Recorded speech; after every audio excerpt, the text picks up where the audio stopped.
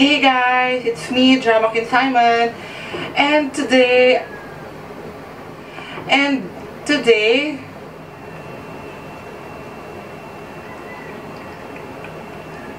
so next naman, so next, so, so the next product that, so the next product that, at, ay naku, ang hirap tanggalin, my god.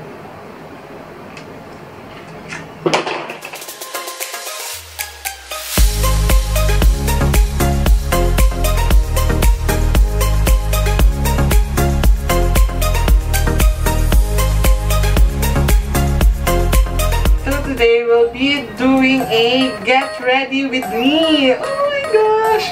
Get ready with me, GRWM. Oh my gosh, ang galing ko mag-acronyms. GRWM, get ready with me, Drama Queen Simon. So ayan, naka outfit na ako, pero wala pa ako nalalagay sa face ko at hindi ako sanay.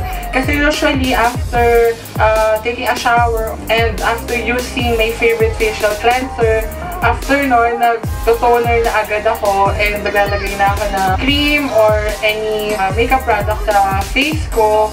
So, today, ayan, i-share ko sa inyo kung ano yung simple look na ginagawa ko. My everyday look. Hmm. Siyempre, hindi siya carry ng no makeup makeup. Hindi po ganun kaganda. Let's do it! So first, I'll be using a toner. So today, I'll be using the Bella Essentials Pore Refining Whitening Toner for Oily Skin. This one. So I'll be using a cotton pad. Okay.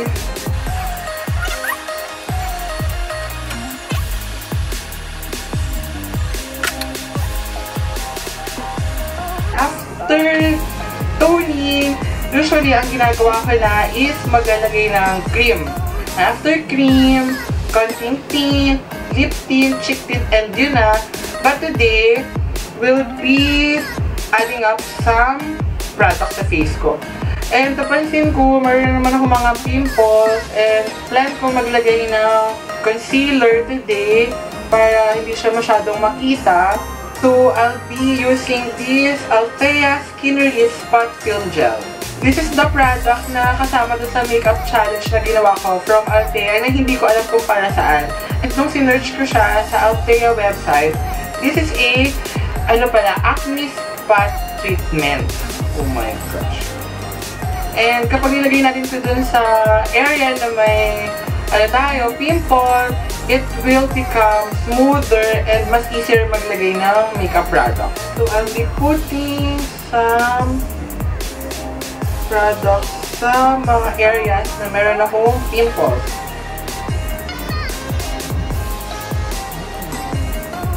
Oh, medyo sticky siya.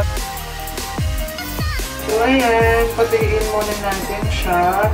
At habang pinapatuyo pa siya, kamusta naman kayo guys? ba? Diba? How was your day so far? Ano, ano bang plano niyo in life? Ano, okay ba kayo ng jowa niyo? Kasi kung hindi, okay lang yan. Break niyo na. Charot.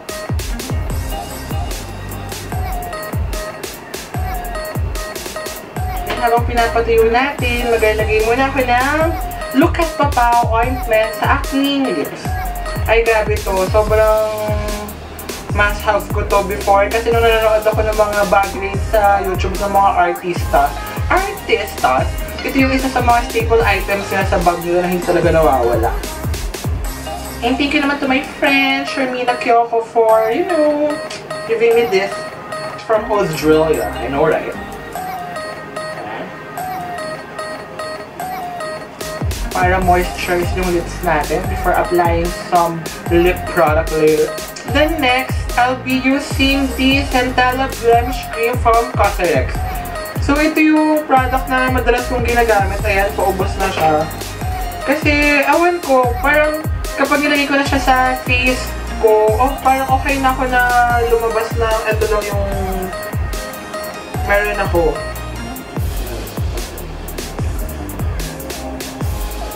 This cream, sabi nila nakaka-lighten up daw siya ng mga dark spots natin sa face. And since din, lagi ko na siyang ginagamit kapag aalis ng bahay or papasok sa work. Ito na yung parang pinaka ginagawa kong foundation. Wala siya guys coverage ha.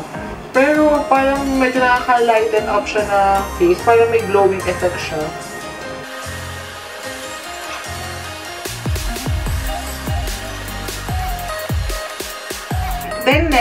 Oh my gosh, first time ko to. First time kong lalabas ng bahay na may concealer sa face ko. And we'll be using the Altea Flawless Creamy Concealer. Ito yun. Ito yung ginamit ko sa makeup challenge. And ang naaalala ko, ang ginamit ko ay yung third shade na darker, which is the honey. Ito ata yun. Hindi na siguro maglalagay dun sa may under eyes kasi I'm blessed naman na hindi masyadong halata na may eye bags ako. Yun na lang yung na-blessan ako. God, bakit yun lang? Hindi yung mukhang ganda. Yung Liza Soberano, Catriona Gray, Kaya Westbach. Why? I don't know. So maglagay tayo ng concealer.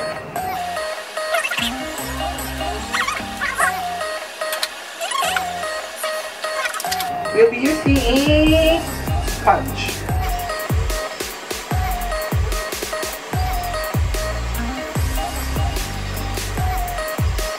OMG! Hindi ko alam kung magiging maganda yung kalalabasan nito. OMG, parang hindi. So, the next product that I'll be using is this Peri Peras Paris Ink Velvet in the shade number 6. So, ito, super enjoy ko siya gamitin kasi na-achieve ko yung ano, drunk blush look. Ganun. So, lalagay lang ako ng konti sa aking finger. Then, from there, doon ko siya ikakalat. Oh my gosh, baka sumobra naman yung pagkapula ng mukha ko. Ganito yung ginagawa kong paglalagay. Spot-spot lang. Then, kalat dito. Mabilis siya matuyo, guys. Naku, guys, yung spot gel film. Na ano siya, ang bilis lang matuklap. And naging so over siya. Ang kailangan ko siguro tanggalin lang itong nandito sa may taas. Uh, okay.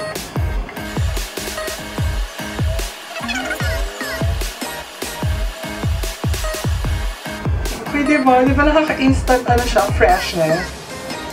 Then, ang ginagawa ko, naglalagay ko ng konti dito sa my nose bridge. Yan. Kalat ko siya konti. Tapos, dito. Yan. Para mag-mix sila sa gitna. Ayan, guys.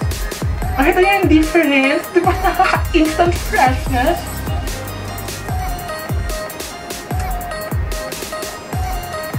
Hmm.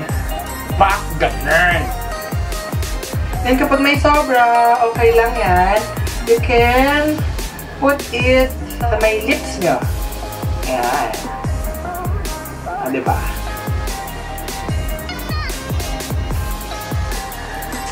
So, ayan. But today, dahil madaming nagre-request sa akin, mula nung napanood nila yung Althea Makeup Challenge ko regarding dun sa lip tint na ginamit ko, which is the Althea Watercolor Cream Tint. Uh, madaming gusto mahalam kung, kung wearable ba talaga siya, kung long-lasting, and kung madali lang siyang tanggalin. And also, may mga gusto na makakita nung swatches ng four different shades niya. So today, ibibigay ko sa inyo kung ano yung hinahanap nyo, kung ano yung gusto nyo. Kasi ganun ako, pag nagmamahal ako, pinibigay ko lahat. Effort guys, effort kung effort, 100%, I'll give it all to you. Like SM, we've got it all for you. Ganun. So we have these four shades. So, we'll try the first one. So, swatch ko yung first shade sa lips ko. And titignan natin kung ano yung bagay na shade dito sa Look What Today. So, I'll be swatching this first shade which is the number one Plum Cream. OMG! Parang masyado siyang mapula, no? Let's try it. Ayan, yun know, yun yung medyo problem ko lang sa kanya. Masyado siyang basa pag nilagay.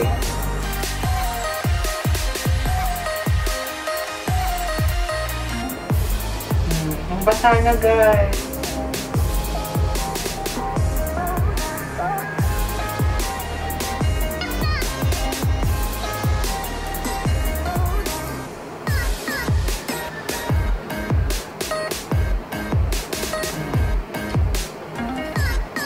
Hindi na kumalat. Pero in fairness, maganda siya. Hmm.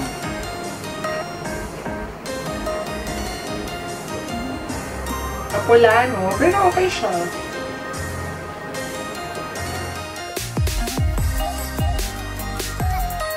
Okay, let's remove it na.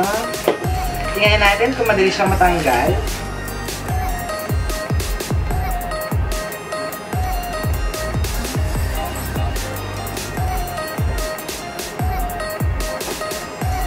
Okay, mahirap niya siyang tanggalin guys, in fairness. Mahirap na tanggalin. Wait.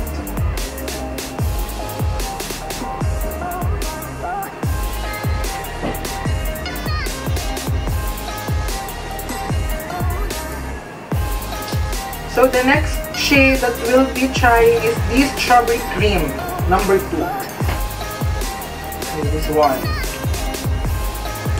Siguro, kailangan kong bawasan yung product, no? Kasi masyado siyang maano, basta...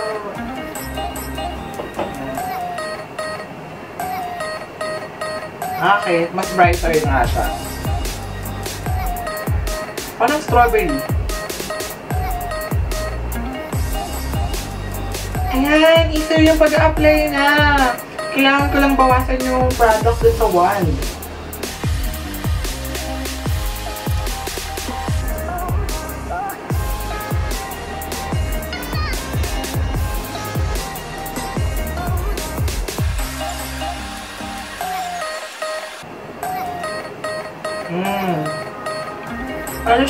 Orangey, red, ganun. Ganda siya.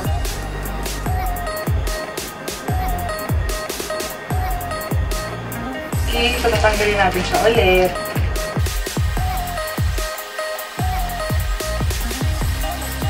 Madali siyang tanggalin. Kaya lang nag-iwan lang siya ng stain, which is parang okay din naman kasi nagkakaroon siya ng parang natural looking na kulay sa lips natin. So, the third one is the peach cream. Ito yung ginamit ko dun sa Althea Makeup Challenge na ginawa ko. Sa last video ko.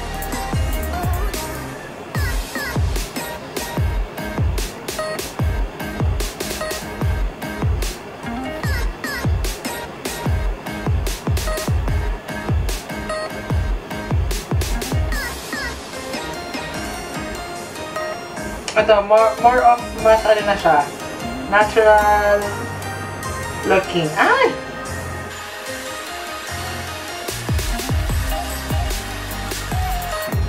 Ayan, o, oh, diba? Ganda talaga nito.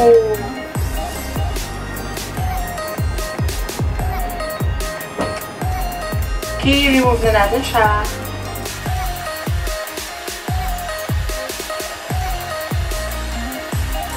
Now we are down to our last shade, which is the Maron Cream, number 4.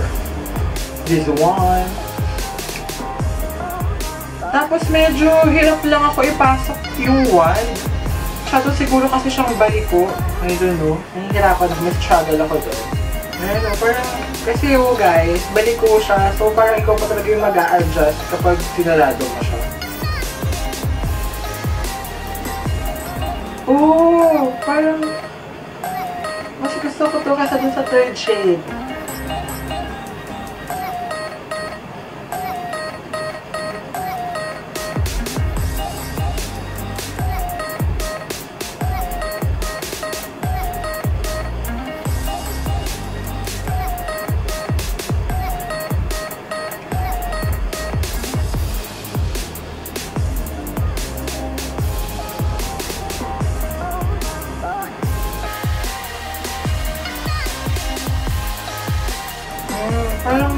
Natural siya.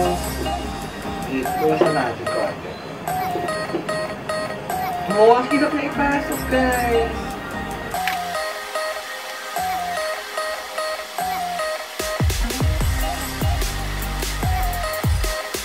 Mm, ang ganda niya. Mas gusto ko itong Maroon Cream kasi mas natural looking yung shade niya na binibigay sa face ko. Wow.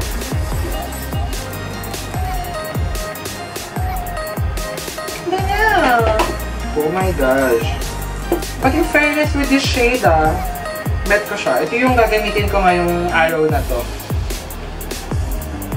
And guys, medyo gets ko din kung bakit ganito yung ano niya, uh, parang consistency which is parang medyo basa talaga. Kaya siguro din siya watercolor cream tint. Kasi diba usually yung mga Koreans, nagalagay sila sa may bandang gitna lang ng lips sila, sa may bandang loob, gitna, then kakalat lang. And yung pinaka-outer part ng lips, medyo parang subtle lang. Subtle? Medyo ano, parang papunta sa, ano, pale color. So, ayun. And okay siya. Ganda.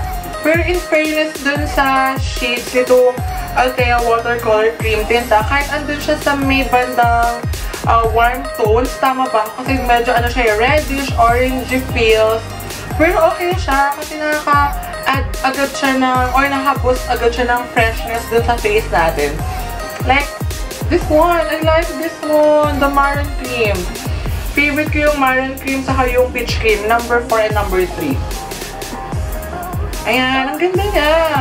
And in fairness dito sa watercolor cream tint nila, medyo mahirap siyang tanggalin, which means I think mukhang long-lasting siya. And I really like the shades.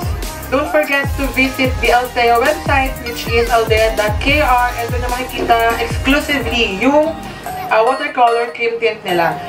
So, ayun guys, ay nagustuhan yung ginawa natin Get Ready With Me video, plus the uh, review dito sa Altea watercolor cream tint nila. Don't forget to subscribe on my channel and like this video and don't forget to leave your comments down below. Uh, till next time, much love! Drama Queen Taiwan! Bye!